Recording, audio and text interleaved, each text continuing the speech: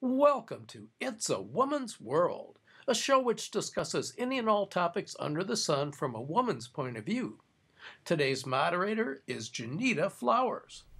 Welcome to It's a Woman's World, another installment of our African American Women's Issues Forum. My name is Junita Flowers, and joining me today is my co-host, Dara Beevas. How are you? Hey, Junita. I'm so excited to see you. It's so good to see you, and Yeah. congratulations on baby Genesis. Thank you. So exciting. We'll talk about that later. Yep, she's here. She's watching us. Yes. so today we're going to be talking a little bit about um, the role of mental health and therapy in the African American community and the impact it's having on our families. And I have two fabulous guests with me today that are going to shed some light on that topic for us.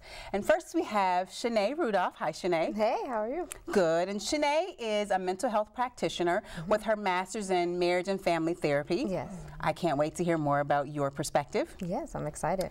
And then we have Rashida Fisher. How are you today? I am well, thank you. And Rashida is also um, a mental health counselor, and she is currently working on her PhD in counseling education and supervision. Yes, I can't wait to hear about your perspective as well. I'm excited for the discussion. Well, thanks for joining us. So, I think just to get us started today, let's talk a little bit about your paths to the role of mental health or in the mental health community. What led you to where you are today and to um, pursue a career where you're basically helping families be stronger um, and figure out stuff that they're dealing with?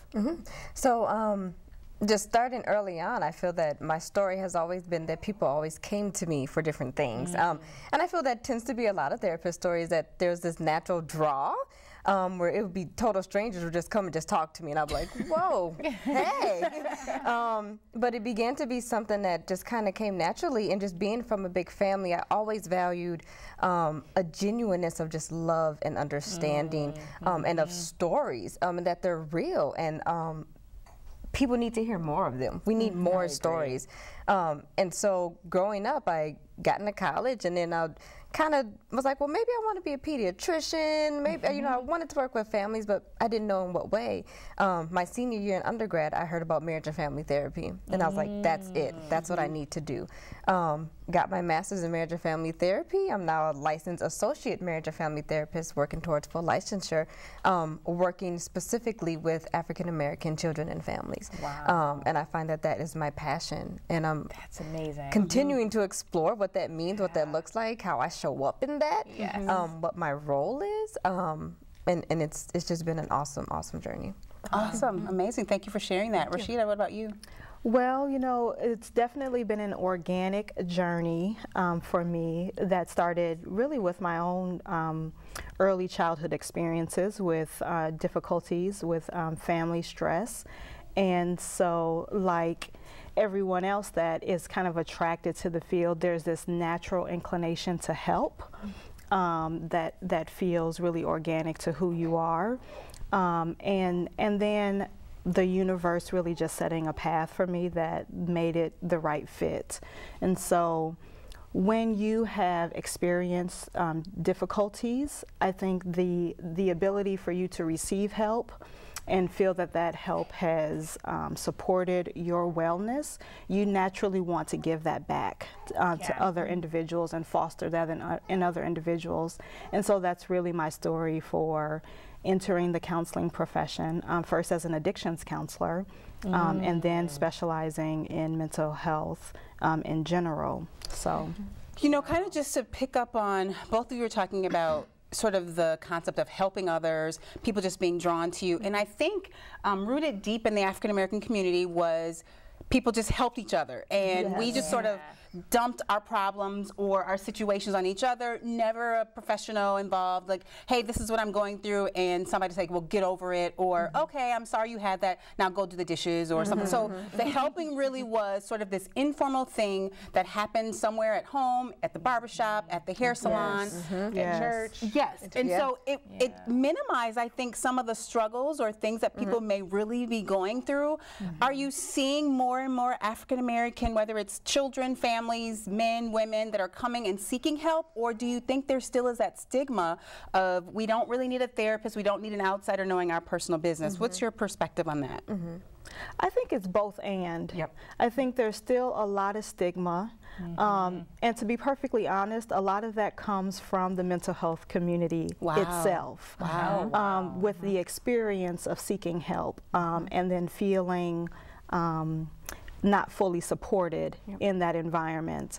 Um, and there are a lot of people that once they get exposure to it, whether it is of their choosing or not, they realize the benefit of it. And it can be a really great thing if they have a health, healthy and full, um, encouraging experience in that setting. I totally agree. It's it's a it's a hooking them Mm-hmm. into knowing that we can make this work.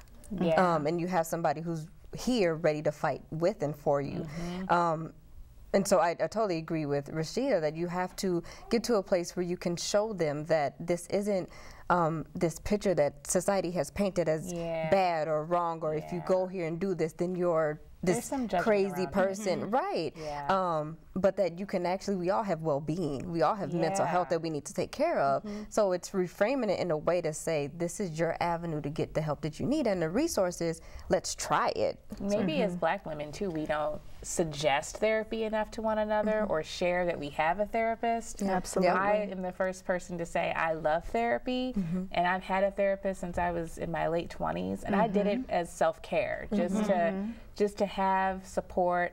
Your friends are going to tell you what you want to hear. Your family has a predisposed position on how they see you, and for me, it was just um, freeing just to have somebody to to lean on who could guide me in different life mm-hmm. circumstances. Mm-hmm. But I but I feel as though I've shared that with people and you do get like, well, what's wrong? Mm-hmm. Mm-hmm. Mm-hmm. Are you depressed? Well, and that speaks to this myth of this strong black woman. Yep. Yeah. Right? That there's no Yeah. room for in, feelings of insecurity. Right. There's no room for needing help and Yeah. seeking help because really the whole world is looking for you to be their uh, stability. And shoulder the right, to burden of create- everybody's. Absolutely. Yeah. And so we're not given permission to not be okay. Mm. And therapy can very much give you permission to not be okay. And Right. and be okay at the same time. Yeah. We struggle in society in general with uh, duality of Yes, things, being able to hold two things simultaneously. Um, and it, it's a it's a real challenge that I can be angry mm-hmm. and still at you even mm-hmm. Mm-hmm. and still love you.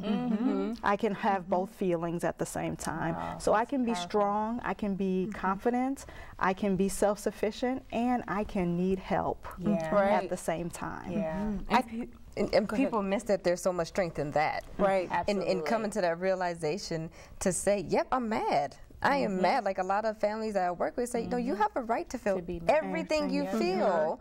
And you have a right to voice that. Now, let's find a way to do it in a way that benefits you. Um, Right. but that's the key is that no, you can do this. Like, don't let society put you in this box and say you have to act this way. And again, it goes back to that strong black woman that I have to be this person. And it's like, no, I can sit and say, I need help. And I'm strong, and there's strength Yep. in me needing that help. Right, right. And I think even taking it a step further with it may be self care, but when we get into the area of a diagnosis, because you know, mm-hmm. going back a lot of times and mm-hmm. rooted deep in our community, it never was any sort of diagnosis. It was just, well, we all had that crazy uncle, mm-hmm. or you always have. ha- I mean, that's how people labeled it, you know, or Right. you have that one aunt. You know what? Don't do certain things around that Yes. person. And we never were okay with allowing a therapist to come in, work with you, and tell you really what's going on, so then you can work on mm-hmm. whatever it is that you're dealing with. And I think there's some validation, mm-hmm. and then you can actually get tools to mm-hmm. create that healthier life when you start to seek out a therapist. I don't know if you're seeing that, but I know diagnosis is still tough in our community. And diagnosis is even tough for therapists.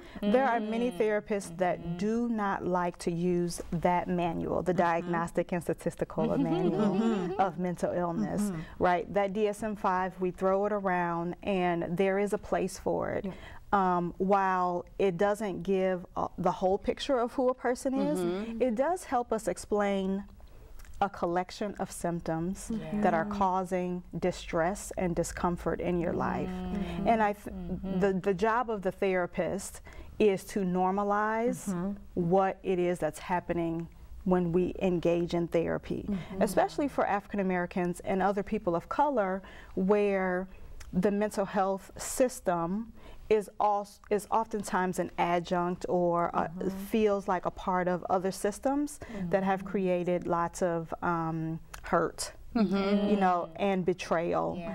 um, and has has challenged our sense of self mm-hmm. because we don't fit into the the norm, the dominant culture, and so therapy is to normalize your reaction to negative adverse situations that this mm. happens to lots of mm-hmm. people. Mm-hmm. And when you experience this this and this at the same time it's called this. And that's all it is. it's a way to describe what you are going through Exactly. And once you can acknowledge it, then you can do the work to remove yourself from it. Mm-hmm. Like if you're constantly in denial of what's going on and what's happening, you can't put a name to it. Yep. So then you continue to walk in this perception as I don't know what it is, so I'm just going to keep going. Mm-hmm. But once you can name it, then you can say that's what that is. Now I can take the steps and learn the mm-hmm. tools and do what I need to do to remove myself from that. So then I can say, okay, now I'm this person and I'm whole and I had this stuff, Yeah. but now I can keep working towards not having that or con- um, um, significantly limiting that part of my life and Yeah. increasing the strengths and tools that I now have to keep going. And what happens if a person or a family doesn't do that? you know it, it creates um, it creates a cycle Yeah. of That's what I- maladaptive behaviors that become normalized and unfortunately create more distress Yeah. Um, and discomfort um, and poor functioning in that individual's lives and then in the, the collective family unit. Uh, so it's it's really important. You know, we talk about breaking the cycle. Yeah. And what therapy can do is break the cycle, give enough space to create a new way of living and being um, in the world. You know, I want to talk a little bit about the self care piece. I think that's so important, especially with, um, I mean, you're a new mom, you know, I have two kids, and whether it's, you know, a woman who's just starting her career, Yes. um, you know, people celebrate when you say, yep, I go get my nails done, I go to the spa, Get my you know, yes, I get those things, but like you said, the minute you tell someone, you know what, I have a therapist, like, what happened to you? You know, how can we Best decision encourage? I ever made. Yes, I mean, because when you think about it, I mean, why can't you have a professional help you when you're making a transition in life, mm-hmm. um, when you're experiencing new things, like maybe you're a new mom, or maybe you just got married, or maybe you just moved to a new city, whatever it mm-hmm. is, there's emotions and changes that go along with that, that if you talk it through with someone, you may be mm-hmm. able to adapt or get in front of things quicker where you can celebrate and enjoy the experience. Where if you don't, you may be isolated, you may have all these other things that come out. So, how can we um, encourage or celebrate or promote the beauty or just the validation of self-care when you work with a professional that can help you talk through these major transitions in your life. I don't know what some tips you guys may have. You know, I really normalize it. I try to normalize it as much as possible um, for individuals and say, you know, if your car was broken, you mm-hmm. would go to a person mm-hmm. that specializes in fixing cars. Mm-hmm. If your uh, floors needed repairing, you would mm-hmm. find someone that specializes in fixing floors. Whatever it is in life, there are special. There are people that mm-hmm. specialize mm-hmm. in fixing, repairing, restoring those things. Mental health professionals are in the business. Our profession is understanding the human condition and supporting mm. wellness in that human condition. Um, that's why I like counseling more than I like psychology. Mm-hmm. Mm-hmm. Psychology really focuses on diagnosis, mm-hmm. and it's a very deficit based model, problem based. Counseling, um, mental health, uh, marriage and family therapy, mental health counseling focuses on health and wellness. Yeah. We are a wellness based profession. And so our job is about understanding what's not working well mm-hmm. Mm-hmm. and finding ways to support developing wellness in those areas based on the strengths that you already have. Mm-hmm. And so for for self-care, when you're feeling a little off in a certain area, why not come to someone that specializes in lifting you up mm-hmm. to mm-hmm. your best self, mm-hmm. because that's what we specialize in. And I don't think it's talked about enough. I mean, if you think about, you know, there's Stroke Awareness Month, there's Breast Cancer Awareness Month, there's, you know, just so many different things, and I think, or even when we pull in like maybe the church, you know, because that's a huge area of support and information um, dissemination in the African American community. But there's never this platform where we say, you know what, this is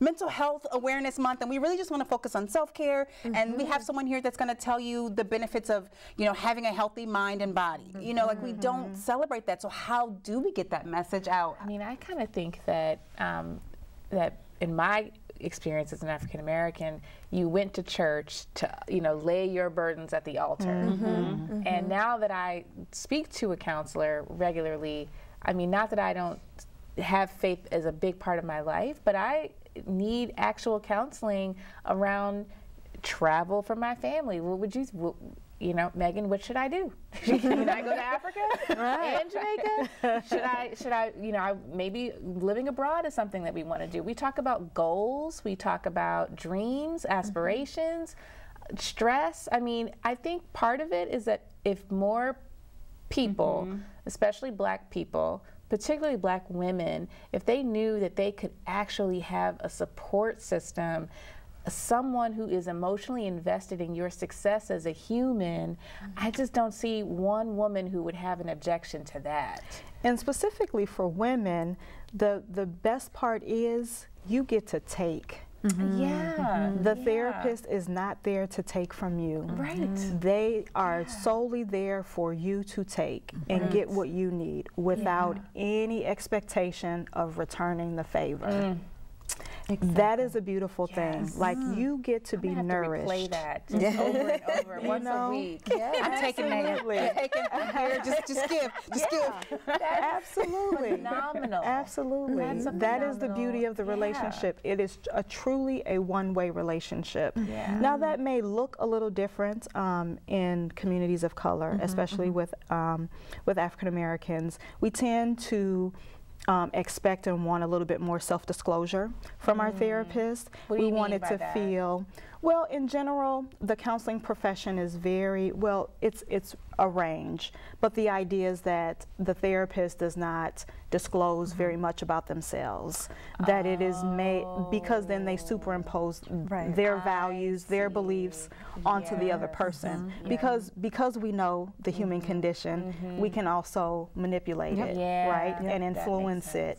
And so we want to make sure that we're not doing too much of that. Right. But with communities of color, um, there tends to be much more kind of of giving in that relationship because we're communal people, Yeah. right? And we Yeah. we want to know That who you are, response, yeah. right? Absolutely, that call and response, and um, but even with even with the nuances of culture, it's still a one way. It's still large one way relationship where the the counts uh, the client or the person receiving therapy is taking, Yeah. and the therapist is only there to give. Yeah, and I know I tell a lot of people that I am just here on the journey with you. Like this is mm-hmm. your journey, this is your mm-hmm. story.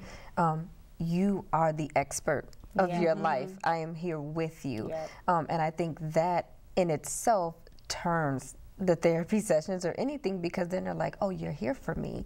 Like you're seeing me right now. It's not me trying to, again, self-disclose and dump all my stuff on you because it can be easy to do that. But no, this is this is your time with me, and this is what I'm here for, and this is what I've gotten my education and schooling or whatever things that are naturally innate in me. This is what I'm here to do, and so you can bring your stuff to me. And not saying that people like kind of you mentioned church, like you can still go to church and you can do all that. Faith is a huge part of my life.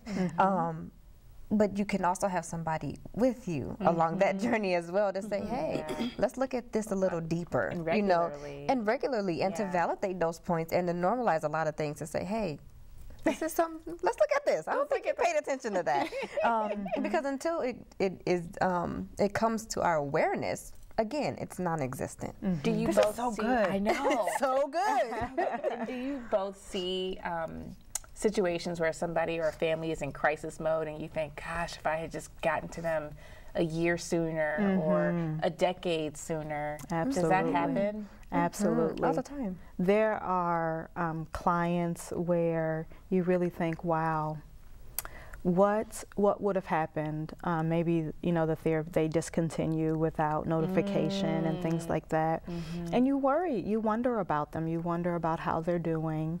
Um, this is a high touch profession, a high caring profession. You have to use your heart um, as a counselor, and it takes a lot of work to um, to give Yeah. and you know and then find our own ways to replenish Do you both? Um, is how how does mental health play into your lives as healthcare as mental health professionals? well I, and i'm glad you said healthcare professionals because we are healthcare professionals. Um, your emotional health your mental health is a part of your whole wellness Yep. your whole um, healthcare plan. So you have to eat well you have to exercise right? You have to get good sleep and you need to take care of your emotional and your mental health. That's right. um, and so we get to be a part of that for people mm-hmm. They say a lot of therapists have their own therapists. That's you know that's common because you do need a place where You do. you can be Oh the my one that's gosh. receiving Yes. too. Yes, you uh-huh. you. Pe- uh, I have a lot of people who say, "Oh, you just sit and listen to people," and it's mm-hmm. like, No. no, sweetie, it's so much it. more. It's a little You- more than it's way more. You uh-huh. are holding so much stuff, mm-hmm. so many stories. Um, it is so much pain, and you have to mm-hmm. walk around mm-hmm. daily with holding people's stuff Yeah. on top of your stuff mm. and family members. You know, it's like Yeah. you're holding so much at one time that you have to have a place to say, I need to let all of this out. I need you to be ready for what's about to happen. Because it's just going to happen. But um, people don't understand how um, that can be physically and emotionally exhausting. Yes. Um, and learning have to be very intentional and skillful um, and not taking too much home. You know, because you, then you have to go home. Having that and detachment you, a little bit, too. You have to because it, it is so heartfelt. Um, you you care for the people you work with. Um, You hope so. You hope so. I tell people like if you don't love what you do, you cannot be, in, in this this field. You cannot. You can't go in as somebody who's completely detached from the world. It's in. I think it's impossible. um, and so you you have to learn how to navigate that. And sometimes we're navigating alongside the people we're working with. We're learning as they're learning. You know, and we use our colleagues. You know, the great thing is, you know, we I can go to my co-therapist or you know my colleague in the next office and say. Oh my goodness, I had this client. Can I consult with you for a minute? I really don't know. I'm getting caught up. You know, are my blinders on? Is my stuff coming up? And how I'm interacting with this person? What do I need to do differently? Absolutely. And the and the beauty is is that you know that cycle of helping just keeps going, just keeps going. Yeah. Yeah. I think culture plays a big role when it comes to therapy. And while everyone goes to school and there's a certain, you know, the specific credentials that you have to have to be a mm-hmm. therapist mm-hmm. that makes you qualified to be able to mm-hmm. support someone on their journey. But the piece that's not there, that's not mandated, is the culture piece. And I think it's so important. Um, but African American therapists are hard to find, at least in Minnesota. And when you're talking about um, things that are rooted, yes, there's trauma, but then there's the culture pieces on there. Yes. Um, in order to unpack some of that, you have to have not only the sensitivity, but I think you mm-hmm. have to have some of the knowledge Yeah. in order to be able to Yep. put together a solid game plan. Mm-hmm. What do you think? What role do you think plays? You know, I am talking like really professionally. I know mm-hmm. that's not a part of you know when you get your license. Okay, you can specialize here, but what role do you think culture plays when an individual is trying to or they're on that path to wellness? It's everything. Huge. It is- It is everything. And being um, a counselor, but then also being an educator for other counselors, it is a huge part of how we are training. More and more, uh, cultural competence, multicultural competence is being infused into all of the coursework, infused into all of the training, and mandated. It is a requirement ethically for you to be a counselor. Now, how that is demonstrated day to day, that's always the challenge. And so we need more and more people of color to desire to be a part of this profession. to um, overlook the stigma of, Yeah. of mental Yeah. illness. Yeah. Um, and to and to want to be a part of this profession to help create more and more dialogue about what race and what ethnicity um, does to shape a person's identity and how important that is for, for health and wellness. And we need people and clinicians of color who are ready to fight. Yeah. You have to be ready to fight. Um, I tell people all the time, and yeah, mm, and so what I mean by that is that you have to go in when you're going into communities of color. Being Yep. a clinician of color, you have to work harder. You have to fight harder because you have to show your people that I am in this system, but I am fixing it to work for us. Us. Yes. Um, because we are a part of the system. Yes. And that's mm-hmm. the reality of it. Mm-hmm. And so we go in when people are almost more hesitant to be like, why are you different? A little suspicious. Mhm. Because mm-hmm. you may look like me, but you're in the system of people, who- a lot of people who don't look like me. Um, and that system has never worked.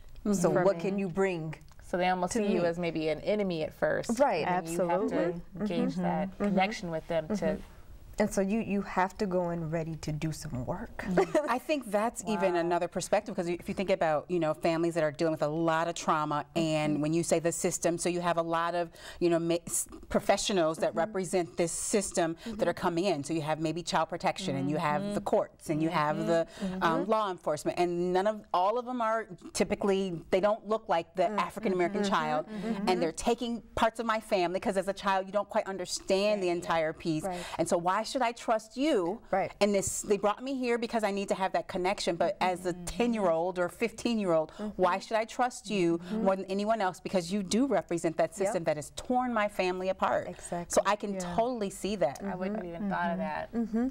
You know, and we are charged a- as counselors, we're charged to advocate for our clients because a part of that multicultural competency is understanding the socio-political environment in which mm-hmm. people grow up in and how that environment impacts their wellness. Mm-hmm. We understand what those challenges look like, how it impacts a, a person's thought process, how it im- uh, impacts their self-image, Yeah. and we're designed to not only help them manage that, but then also to work to change the system, mm-hmm. Yeah. to use our mm-hmm. voice, use our expertise to do that. And I think having more and more people of color in the field only supports the um, the power of that voice and of that advocacy.